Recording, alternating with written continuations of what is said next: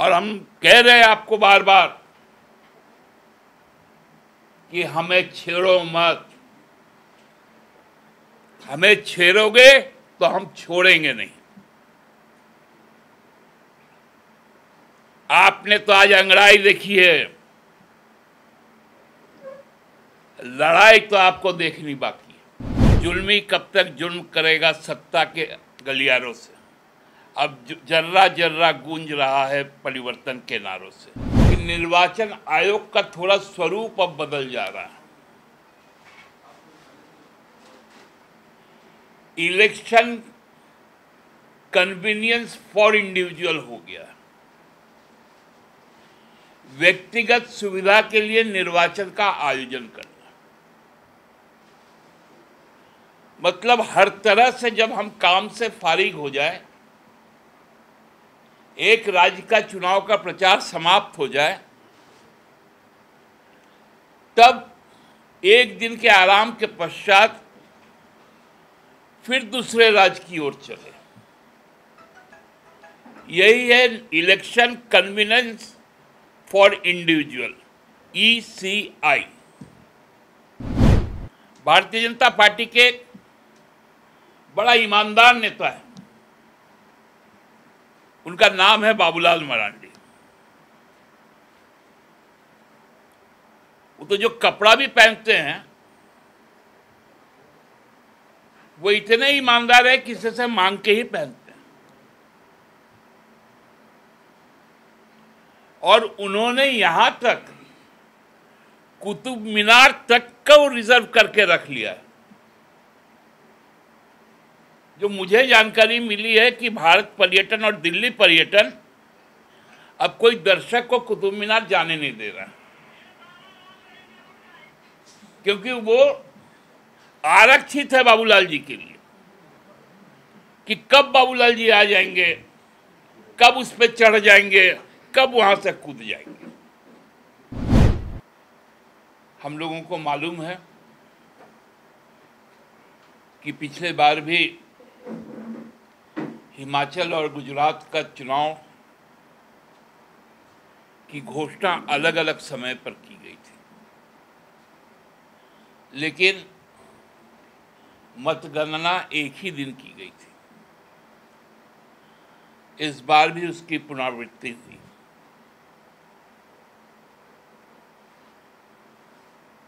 हम लोगों को यह भी मालूम है कि गुजरात चुनाव की घोषणा तब की गई जिसकी आशंका हमने कल जताई थी कि आदरणीय प्रधानमंत्री जी का पिछले बारह महीनों में बारह बार गुजरात जाना और अंतिम समय में लगातार तीन दिन रहना और उसके बाद लौट कर आना। फिर अनफॉर्चुनेटली कल राजकीय शोक था। इसलिए उसकी घोषणा की आशंका हमने कल ही व्यक्त की थी कि आज होगी। वही सच साबित हुई।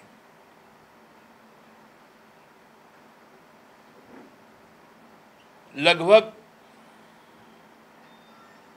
एक महीने के अंतराल में, क्योंकि 14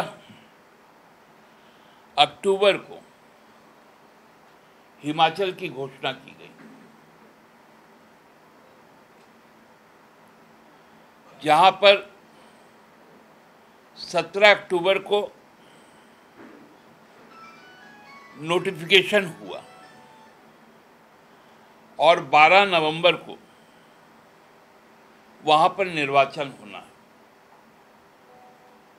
इसके पहले 9 और 10 तारीख को प्रधानमंत्री जी हिमाचल प्रदेश में दो दिनों तक अपना चुनावी सभाएँ करेंगे। तत्पश्चात 12 को मतदान होगा। और गुजरात का जो पहला फ़ेज़ का, जो एक तारीख को होना है,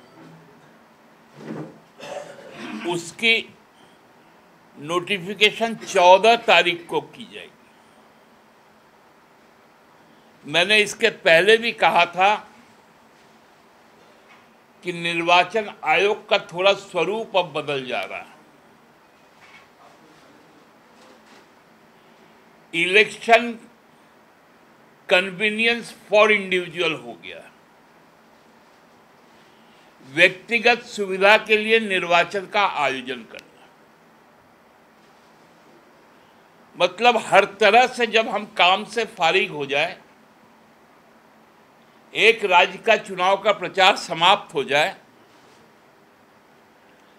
तब एक दिन के आराम के पश्चात फिर दूसरे राज्य की ओर चले।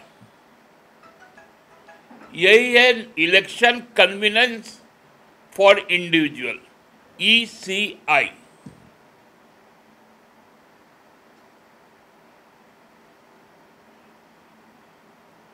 मतदान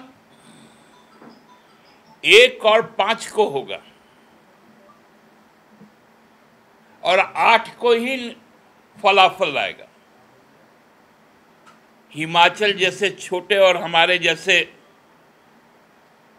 सुदूरवर्ती इलाकों में जो मतदान करेंगे, पहाड़ों में, जंगलों में, उनको लगभग एक महीने तक केवल भारतीय जनता पार्टी के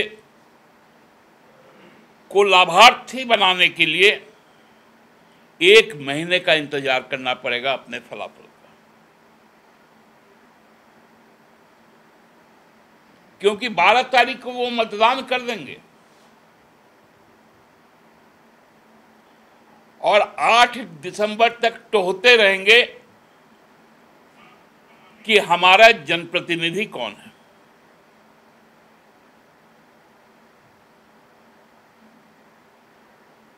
ये इसलिए किया जाता है। एक सौ बिरासी सीट है। गुजरात में दो चरण में चुनाव हो रहा है। वहाँ पर भी 27 एसटी सीट है। और हमारे यहाँ पर इक्यासी विधानसभा का सीट है। हमारे यहाँ पर भी 28 एसटी सीट है। लेकिन हम लोगों का चुनाव पाँच चरण में होता है।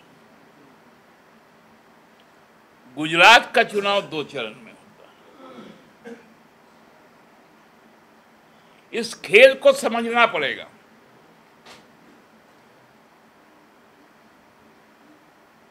कि किस तरह से अब निर्वाचन को मैनिपुलेट और मैनेज किया जा रहा है। अब ये केवल एक कॉन्स्टिट्यूशनल प्रोसेस है बोल के इसको निभाना पड़ता है। अन्यथा कुछ दिनों में शायद ये भी हो जाएगा कि काहे को चुनाव करना है। किसी प्राइवेट एजेंसी से सर्वे करवा लेते हैं और उस प्राइवेट एजेंसी को जो जितने पैसे से हायर करेगा, उसका उतना वोट ऑफ़ परसेंटेज भी आ जाएगा और सीट भी आ जाएगा और सरकार भी बन जाएगी।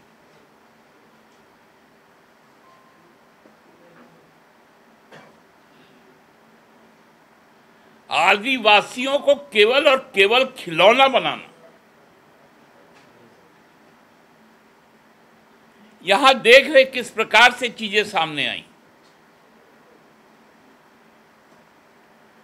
गुजरात में पिछले पाँच वर्षों में दलितों के साथ और आदिवासियों के साथ जिस प्रकार से दुर्व्यवहार किया गया, वो सबके सामने चाहे वो बनासकांठा का हो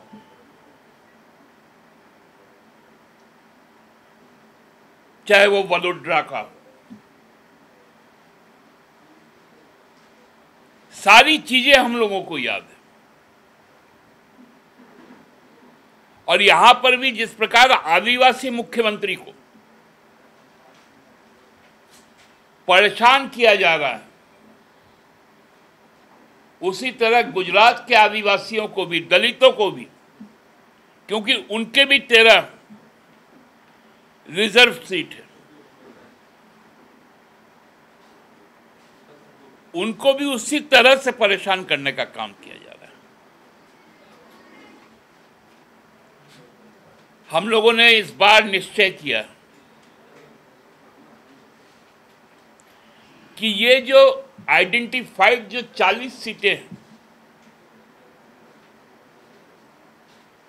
जो 27 ट्राइबल सीट है और जो तेरह शेड्यूल कास्ट के रिज़र्व सीट है, इनको इंटेंसिफाइड करके हम लोग किस प्रकार से भारतीय जनता पार्टी का रवैया आदिवासी जनप्रतिनिधियों के प्रति रहता है, दलित जनप्रतिनिधियों की तरफ़ की ओर रहता है उसको एक्सपोज करने का काम करेंगे।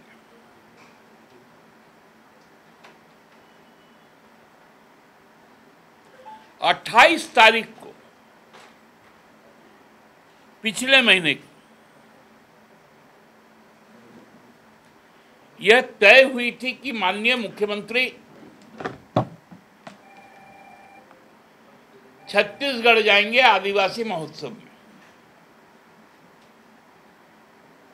उसके बावजूद ईडी के द्वारा एक समन आज के तिथि की घोषणा की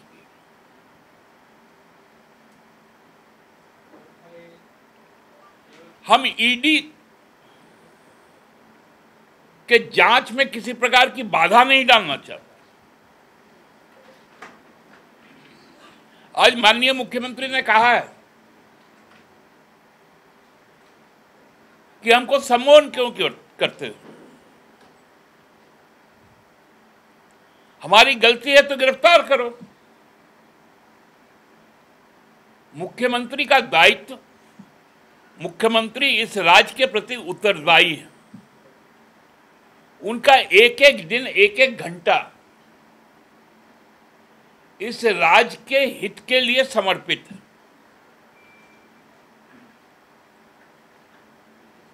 उनसे बगैर उनका शेड्यूल जानकर, इस तरह से एक नैरेटिव सेट करना, यह हमको लगता है अत्यंत दुखद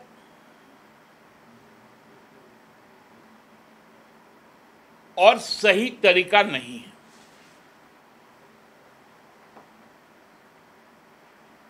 भारतीय जनता पार्टी के बड़ा ईमानदार नेता है। उनका नाम है बाबूलाल मरांडी। वो तो जो कपड़ा भी पहनते हैं, वो इतने ईमानदार है किसी से मांग के ही पहनते हैं। और उन्होंने यहाँ तक कुतुब मीनार तक को रिज़र्व करके रख लिया। है जो मुझे जानकारी मिली है कि भारत पर्यटन और दिल्ली पर्यटन, अब कोई दर्शक को कुतुब मीनार जाने नहीं दे रहा। क्योंकि वो आरक्षित है बाबूलाल जी के लिए कि कब बाबूलाल जी आ जाएँगे, कब उस पर चढ़ जाएँगे, कब वहाँ से कूद जाएँगे। वो आज कल हम लोगों को पाठ पढ़ा रहे ट्विटर से। चिड़िया उड़ाकर। चिड़िया को उड़ाने का काम आप कर सकते हैं। एक संबंध से जो आक्रोशित होकर हज़ार कार्यकर्ता आज यहाँ पर उपस्थित हुए। वो इस बात का संकेत है कि जो साजिश रचने का काम किया जा रहा है, उसका किस प्रकार से मुकाबला होगा? गाँव गाँव में टोला टोला में, प्रखंड और जिलों में। स्वतः स्फूर्त कल भी हम लोग जब बात कर रहे थे, ये बात बार बार आ रही थी। हम लोगों ने कहा कि कार्यकर्ताओं में आक्रोश बहुत है। हम भी ये आकलन नहीं कर पाए कि हज़ारों की संख्या में लोग अपने आप आ जाएँगे।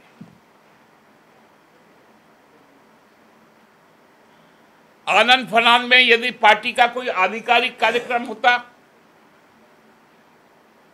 तो स्टेज बनता, माइक की व्यवस्था की जाती लेकिन आनंद फानन में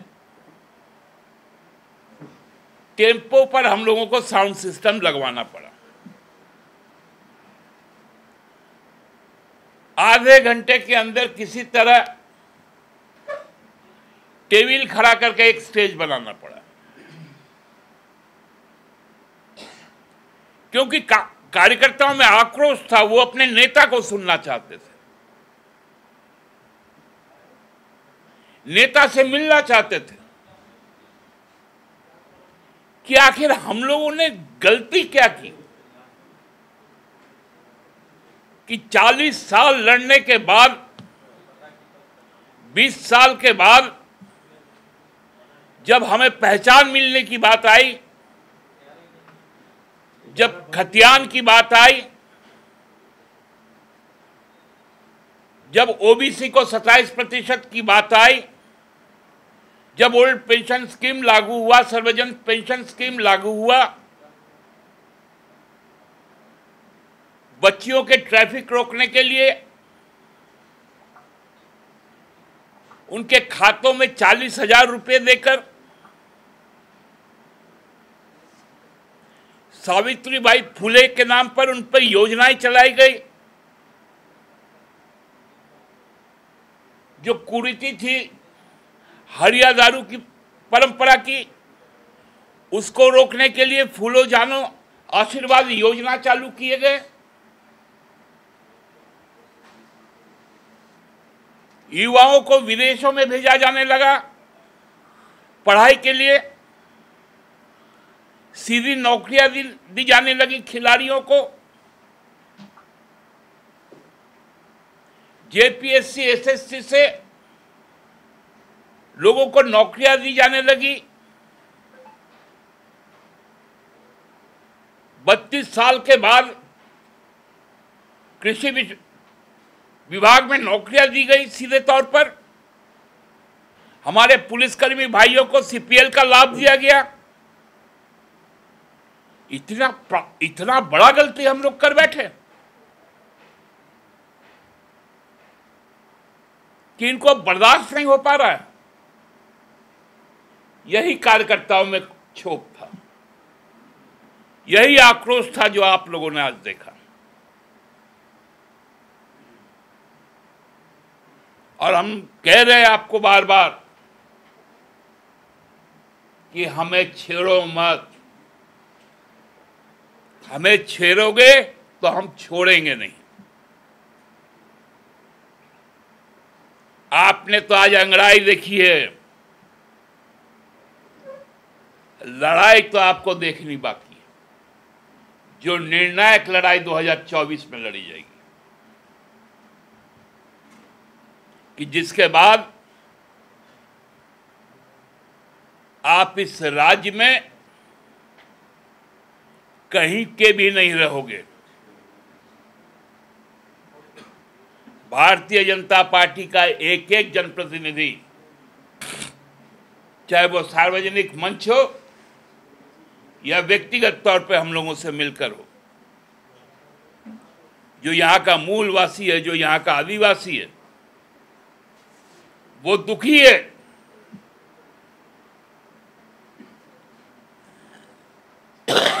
क्योंकि भारतीय जनता पार्टी के जो मनुवादी सोच वाले लोग हैं, वो लोग इस राज्य सरकार को अस्थिर करना चाह रहे हैं। इसलिए आज मुख्यमंत्री जी ने भी कहा, और हम लोग भी इस प्रण को दोहराते हैं, कि गुजरात का 27 सीट और 13 सीट या 40 सीट में हम भाजपा के असली चरित्र को, जो कहते थे ना, चाल चरित्र और चेहरा, उसको उजागर करने का काम करें भाजपा का चाल भाजपा का चरित्र और भाजपा का चेहरा। ये हम लोगों ने आज गुजरात चुनाव के बाद इस बात को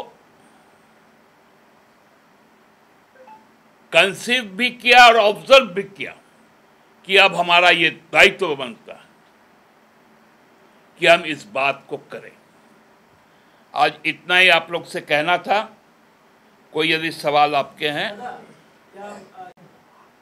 माननीय मुख्यमंत्री के द्वारा उनकी सारी कार्यक्रम की सूचना ईडी को जा चुकी है और उसके अलावा हमारे पार्टी की ओर से और माननीय मुख्यमंत्री की ओर से हम लोग विधि परामर्श भी ले रहे हैं। कि आगे की कार्रवाई हमें क्या करनी तो क्या महाप्रचार के लिए भी जाएँगे किसी दल के पक्ष में? प्रभावित कैसे करेंगे यहाँ? गुजरात। गुजरात? आज के ज़माने में चिड़िया उड़ाना हम लोग भी जानते हैं। और यहाँ से अहमदाबाद की दूरी को भी नापना जानते हैं। दादा आप कह रहे फेजेस को लेके चुनाव में तो पाँच फ़ेज़ में भी हुआ तो भी जेएमएम की सरकार बनी झारखंड में? ये और अब आपको कैसे लग आ, आ, आपको समाजवादियों का एक नारा याद होगा। जुल्मी कब तक जुल्म करेगा सत्ता के गलियारों से? अब जर्रा जर्रा गूंज रहा है परिवर्तन के नारों से। वो हमारा फ़ेज़ था 2019 का और वो फ़ेज़ फिर आने वाला है। कहाँ? गुजरात में? गुजरात में भी आएगा झारखंड में भी रिपीट होगा। और आपको ये विश्वास है कि मतलब अलग अलग फ़ेज़ में कराने में गुजरात में का इफ़ेक्ट पड़ेगा हरिया कर्नाटक हिमाचल पे इस वजह से इस तरीके का किया जा रहा है? निश्चित तौर पे गुजरात का यदि हिमाचल के साथ में क्लब करके चुनाव होता तो भारतीय जनता पार्टी ग्रेट लूजर होती है। ऐसे भी हिमाचल वो हारने वाले हैं। वहाँ की परंपरा भी रही है।